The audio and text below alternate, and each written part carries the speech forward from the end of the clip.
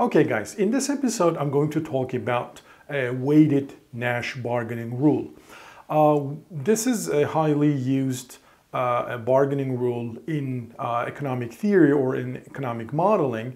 Um, and here is why. Well, let's suppose uh, you are modeling a strategic environment where you know that negotiators do not have equal bargaining power, right?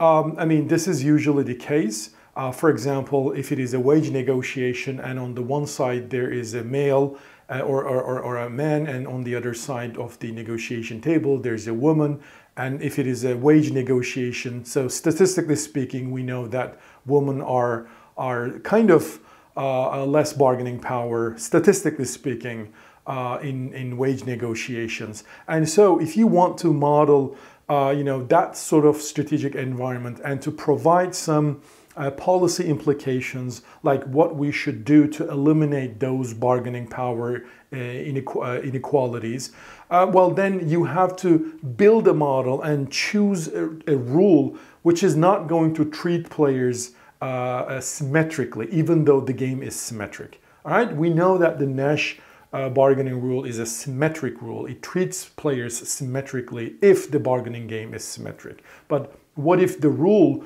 that is applied in reality is not symmetric? Or alternatively, think of situation where you would like to um, uh, sort of positively discriminate one party or one negotiator over others. And so uh, you would like to give him or her a more bargaining power and then calculate how to distribute the surplus. Okay, so in that sense, for, or for that reason, using Nash bargaining rule is not really the best option. So it is called P weighted or just weighted Nash bargaining rule. So uh, P is the weight. It's basically a probability uh, vector. So P1, P2, all the way up to Pn. Each of those numbers are coming from 0, 1 interval. So they can't be less than 0, they can't be more than 1. And more uh, importantly, uh, when we add them up, they must add up to 1 so that this P is actually a probability distribution over the players. All right, so each PI is actually interpreted as uh, the negotiator I's bargaining power. So the higher, for example, if PI is equal to 1, I mean, for example, P1 is equal to 1 and all the other PIs are 0, that means the other bargainers uh, have no bargaining power at all. We only care about player or negotiator 1. If, for example, PI, I mean, all the players, all the negotiators have exactly the same PI, meaning PI equals PJ for every IJ. Well, this is standard Nash bargaining uh, rule, okay? But here, PI can be anything, again, as long as it satisfies this. Now, the weighted Nash bargaining rule is defined by uh, exactly the same way of Nash bargaining rule. The only difference is that uh, in this multiplication, we do have xi minus di to the power pi, okay? And then we multiply everything. And then we maximize this uh, multiplication over all individually rational and feasible payoffs in the bargaining problem SD. And then the uh, solution is basically the one that maximizes this multiplication. Uh, as you may predict, uh, the weighted Nash bargaining rule satisfies Pareto-optimality, all right? It's always going to give us some point on the boundary.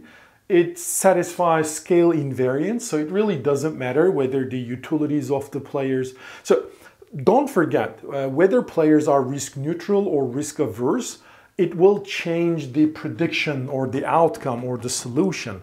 However, uh, when we say the agents are risk neutral, whether you write the utility u of y is equal to y or u of y equals 2y, that doesn't matter, or 2y plus 5. Okay, that doesn't matter.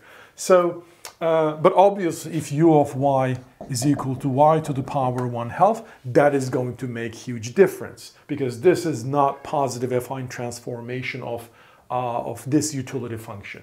Okay, so it satisfies uh, scale invariance, which is an important assumption. I mean, it's an important property because it really doesn't matter whether players are multiplying each, uh, you know, surplus by two or five or 10. Um, so scaling invariance is an important property. The other one is IIA, so independence of irrelevant alternatives. So uh, the irrelevant alternatives are not going to uh, make any difference. Um, but obviously it's not symmetric, okay? And the reason is, well, it's not symmetric uh, as long as pi equals pj doesn't hold, okay? Um, so that, that makes perfect sense because the symmetry of the rule is broken by introducing this concept of bargaining power. And that was the entire purpose of introducing this uh, Nash bargaining rule. Okay,